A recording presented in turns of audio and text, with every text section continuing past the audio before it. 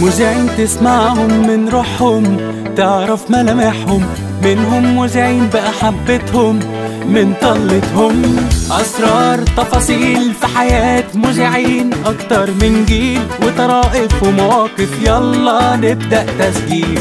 وأكيد تغيير لينا وليهم ومفاجأة لكل المستمعين. لما المذيعين يتحولوا فجأة كده لضيوف في كلام كلام مذيعين. كلام مذيعين مع خلود نادر على نغم اف ام كلام مذيعين. معانا النهارده في كلام مذيعين مذيع قريب لقلب الناس المذيع المتميز رامي رضوان. رامي مساء الخير وكل سنة وأنت طيب ورمضان كريم عليك. مساء النور يا خلود ورمضان كريم عليكي وينعاد عليكي وعلى كل السادة المستمعين وكل حبايبك بالخير يا رب و- والبركة وكل حاجة حلوة. الأول كده عايزين نعرف طقوسك إيه في رمضان؟ والله رمضان يعني الواحد فيه بيحاول يكتر من الروحانيات عشان آه، يفلتر آه، نفسه وقلبه. ده جزء آه، رئيسي موجود. لمة العيلة والأسرة والصحاب ده جزء رئيسي موجود لأنه بتبقى فرصة عظيمة لما مواعيد الناس كلها مظبوطة على نفس المواعيد فبتبقى فرصة إنه الناس تقدر تتقابل وتتلم مع بعض أسهل بكتير من الأيام العادية. آه، والجزء الثالث اللي هو جزء عملي أكتر إن بحاول أتابع بقدر الإمكان آه، أكبر قدر من المسلسلات للأسف. ليه؟ ليه بتابع؟ عشان شغلي. آه ليه للأسف؟ لأن ده بياخد جزء كبير جدا من اليوم. جزء مش قليل. إيه أكتر مسلسلات عجبتك السنة دي؟ مش عايز احكم دلوقتي بس آه أنا بتابع تقريبا خمس مسلسلات حاليا. فيهم تفاصيل كتير جدا حلوة. ما بين آه، خطوط درامية جميلة ما بين آه، صورة حلوة ديكورات لطيفة. لسه مش هقدر احكم واقول إيه اللي أنا حابه ومشدود ليه لأن حتى الآن أنا بتابع من منطلق عملي فقط. رامي في بدايتك انت كنت عايز تبقى مذيع ولا كنت عايز تبقى حاجة تانية؟ لحد ما كنت في سنة تانية جامعة تقريبا لم يكن في ذهني أبدا إن أشتغل مذيع لأن كنت شخصية خجولة جدا. إيه ده أمال إزاي الشخصيه الخجولة تحولت كده؟ حتة الخجل اتكسرت شوية وقت الجامعة لما بدأت أدرس بقى إذاعة وتلفزيون لأن بقى في شغل بنعمله على الأرض. ثم لما قررت أشتغل الشغلانة دي بدأت أقرأ عن الخجل عشان أفهم هو أنا ليه خجول قوي كده. طب وأتغلب عليه إزاي؟ لحد ما آه، بيني وبين نفسي قررت إنه خلاص ده جيم ما بيني وما بين الخجل ده لازم أكسبه. و... واللي أنا بقوله لك ده طبعا ما جاش في يوم وليلة يعني. جه مع, مع بداية رحلة الشغل مرة في التانية في التالتة في العشرة في الألف آه، كل مرة كان بيبقى فيه تحسن أكتر. آه رامي أكتر الصعوبات اللي أنت مريت بيها في مشوارك الإعلامي من أول لما ابتديت؟ لا التحديات كتير بس ساعات التحديات اللي بيبقى دمها تقيل والواحد آه، في مقتبل عمره يعني أو مقتبل مسيرته في مجال الإعلام كان الأمور دي بتستوقفه إلى أن تيقن إلى إنه مش لازم تستوقفه ابدا يكمل في طريقه. بقيت على يقين إنه أفضل حاجة أو سبيل للتعامل مع الحاجات دي إنه الإنسان ما يقفش ليها. طالما هو متأكد إنه بيعمل الصح وضميره مرتاح يفضل في مكمل في اللي هو بيعمله أو ربنا هيجيب لي حق. إيه مقومات المذيع الناجح بالنسبة لك؟ وإزاي المذيع يبقى قريب للناس؟ لازم يبقى بيقرأ كتير مطلع كويس جدا. لازم يبقى لسانه منضبط يحسن استخدام آه، أدواته وألفاظه. يبقى دايما بيفكر في اللي بيقدمه من وجهة نظر المشاهد. إزاي يبقى قريب من الناس إن هو يبقى حاسس بيهم وبيعبر عنهم حكمة آه، بتمشي بيها في حياتك أو مقولة بتؤمن بيها. من أكتر المقولات اللي أنا مؤمن بيها جدا لكل مجتهد نصيب إنه ربنا بيدي كل واحد على قد اجتهاده. بيكفيني إن ربنا سبحانه وتعالى شاهد على المجهود. وبيكلل المجهود ده بالنجاح اجلا أو عاجلا. عدوك ابن كارك هل أنت مقتنع بالمقولة دي؟ تنطبق على البعض ممكن آه. بس اللي أنا مؤمن بيه إنه ابن كارك ده لو كان مركز في التراك بتاعه هينجح أكتر من إن هو يبقى بيعادي زمايله. مين المذيعين المفضلين بالنسبة لك؟ بتحب تتابعهم دايما سواء زمان أو دلوقتي؟ هبدأ بدلوقتي بتابع كله. ليه؟ عشان بحب أشوف كل مدرسة بتتناول الأمور بطريقة عاملة إزاي. من المذيعين أو مقدمي البرامج اللي بحب أتفرج عليهم. خارج مصر بقى خليني أقول يعني. ستيف هارفي بحبه جدا جدا. أوبرا وينفري. الله يمسيها بالخير بقى لما كان يعني في The Oprah Show Ellen وساعات بمر على آه، جيمي فالن وجيمي كيمل بحب برضو الأفكار المطرقعه بتاعتهم. مين الشخصية اللي نفسك تحاورها ولحد دلوقتي ما حاورتهاش؟ نفسي أعمل حوار مع ستيف هارفي وأوبرا وينفري. هبقى سعيد بده جدا. جزء منها أسئلة أنت سألتيها أو هتسأليها كمان. اللي هي مثلا زي إنه إيه مواصفات المذيع الناجح إيه اللي بيميز أوبرا وينفري؟ لا أسئلة كتير جدا. إيه الحاجة اللي ممكن تخليك تقفل التلفزيون لو بتتفرج على برنامج يعني أو تحول القناة فورا؟ الأفورة. ال- الأفورة من كل ناحية. عمرك جات لك كريزه ضحك على الهوا؟ بتحصل طبعا آه بتحصل. بس هقول لك على أكتر تخوف بيبقى عندي وأنا طالع هوا وبدعي إن ده ما يحصلش. لو جات لي عطسة دي هتبقى على الهوا مشكلة. إيه السؤال اللي ما تحبش إنه يتسال لك وإيه السؤال اللي ما تحبش تسأله للضيوف عندك؟ السؤال ما احبش اتساله أكيد مش هقول لك عليه يا خلود عشان ما اديش فرصة لحد بعد كده يساله لي هقول لك عليه بعد الهوا. انما السؤال ما احبش اسأله لضيوفي اي سؤال ممكن يكون مؤلم ليهم أو آه، يخدش حياء آه، المشاهد. مذيع محترم. يبارك فيك يا رب ربنا يخليك. فاصل وراجعين تاني مكملين مع رامي رضوان في كلام مذيعين على نغم FM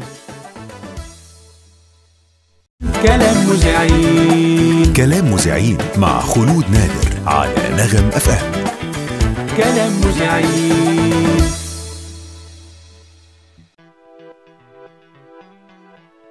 رجعنا تاني ولسه مكملين كلام مذيعين مع رامي رضوان على نغم FM آه، موقف حصل لك وانت على الهوا واتأثرت جدا لدرجة إن ممكن دموعك نزلت تفتكر في الموقف ده؟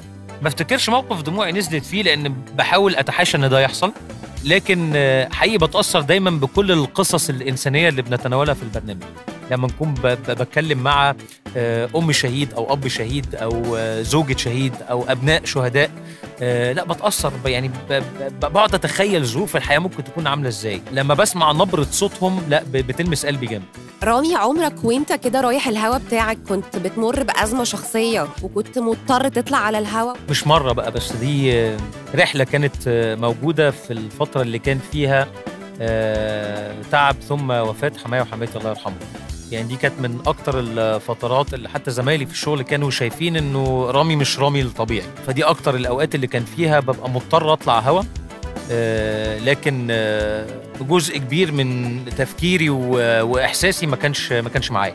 ما ينفعش نجيب طبعا سيرة الفنان الكبير سمير غانم. الله يرحمه والفنانة الجميلة الكبيرة طبعا دلال عبد العزيز. الله يرحمها. كحماتك آه، وكحماك. بشكل شخصي بالنسبة لك بتفتكرهم بإيه؟ بكل حاجة حلوة ممكن تكون موجودة في إنسان. والله مش ببالغ.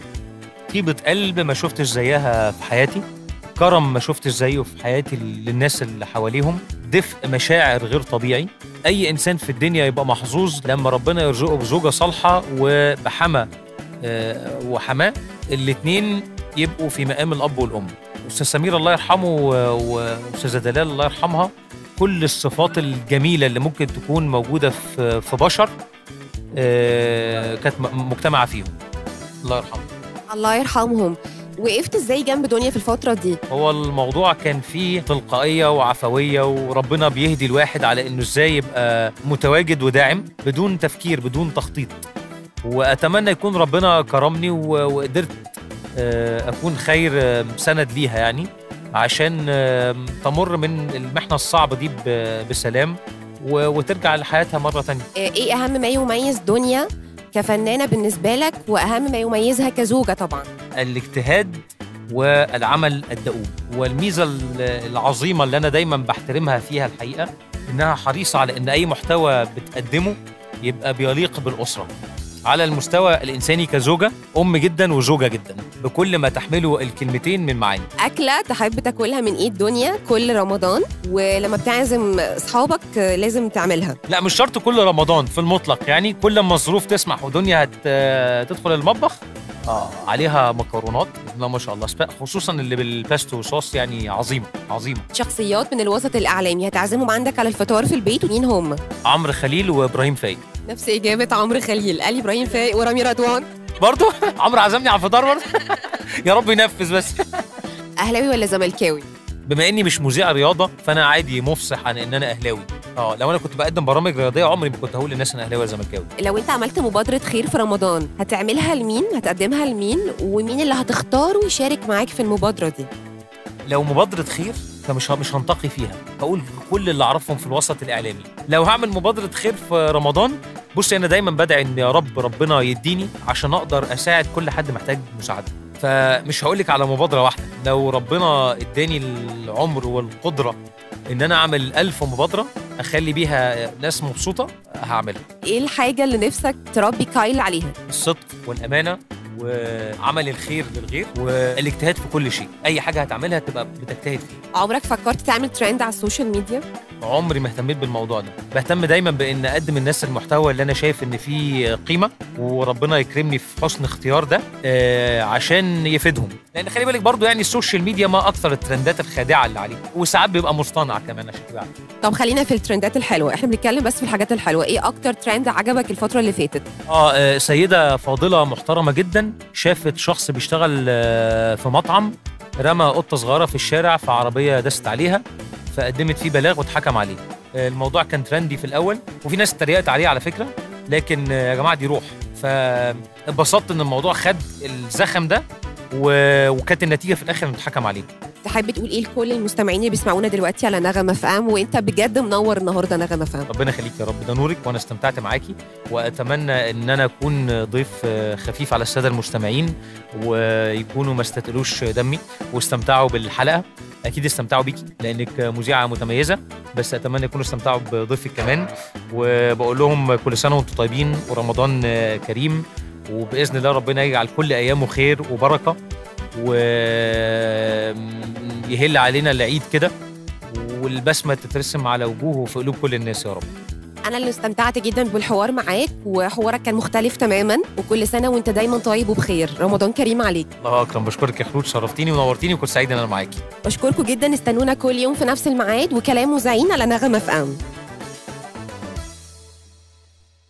كلام مذيعين. كنتم مع كلام مذيعين مع خلود نادر على نغم أف أم. كلام مذيعين.